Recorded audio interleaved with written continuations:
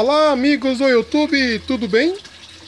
Estou aqui no meu processo de criação de tilápia é, em caixa d'água. Estou mostrando para vocês aqui um pouco da nossa criação e hoje estou mostrando para vocês o seguinte, né? Essa noite choveu bastante em minha região e já fiz outros vídeos a esse respeito e quero dizer para você o seguinte se você quiser é, deixar a sua caixa d'água limpa, como essa minha que se encontra agora, sem gastar nenhum tostão, é muito simples, né?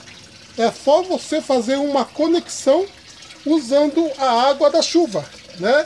Eu tenho aqui então na minha na minha casa o seguinte, lá embaixo, estou vendo esse encanamento branco, lá em cima, tá? Essa parte de cima aqui desce, ela corre por toda a parede, como você está vendo aqui, passa por baixo, vem aqui, tá? Sobe ali no cano a água, tá? Vem, passa pela minha hidroponia e vem então cair nesse cano aqui, tá?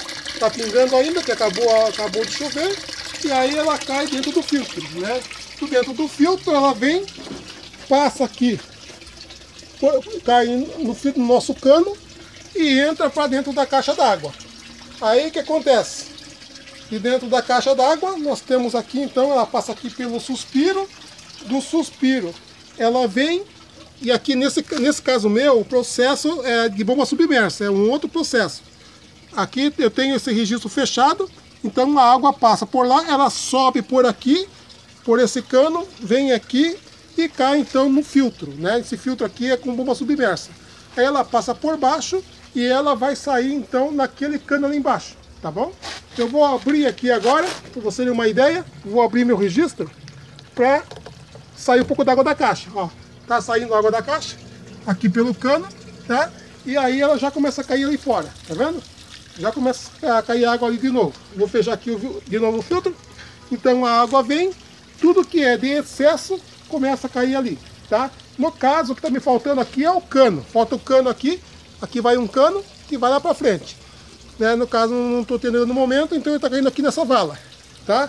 Então aí, ó, se você quiser é, ter o privilégio de ter na sua casa uma caixa d'água como essa aqui, que você consegue manter ela é, limpa, né, com os seus peixes, então, crescendo é, dessa maneira, tá? Vou dar um close aqui geral aqui em tudo, para que você tenha uma noção, tá? Esse aqui então é o filtro com a caixa d'água, tem duas mangueiras, tá? Com duas bombas, uma vai para a hidroponia, onde eu tenho uma criação de uma plantação de cebola, né? Aqui quase não tenho colhido, a cebola está aqui já vencendo o tempo. E a outra então passa pelo filtro V, e cai noutra caixa, tá certo?